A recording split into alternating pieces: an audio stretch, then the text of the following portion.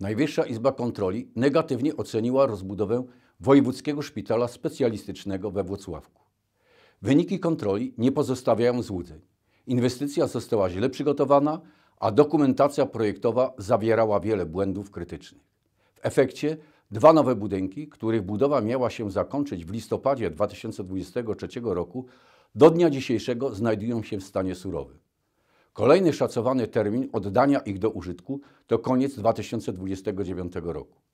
NIK zwraca uwagę, że zatwierdzony w umowie z wykonawcą koszt inwestycji wzrósł z około 155 milionów do ponad 400 milionów złotych. Jednak nawet ta kwota może okazać się niewystarczająca do ukończenia rozbudowy szpitala.